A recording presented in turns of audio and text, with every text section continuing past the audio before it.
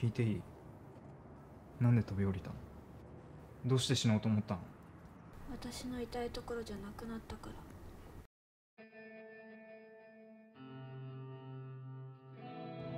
和さんよく生きてたよね。あれどっちだっけ？あっちの端そのまま死んじゃえばよかったのに。言う通りにしたけど写真消してよ。やだ。脅迫してんのそっちだろ。しょうがないじゃんバレたらどうなるかわかんないよ。あの人は俺に恨みがあるんです。なんでわざわざ大怪我して生き返ったのにさこんなことするわけ。俺が言わなくてもどうせバレてただ。くんが余計なこと言うからおかしくなったん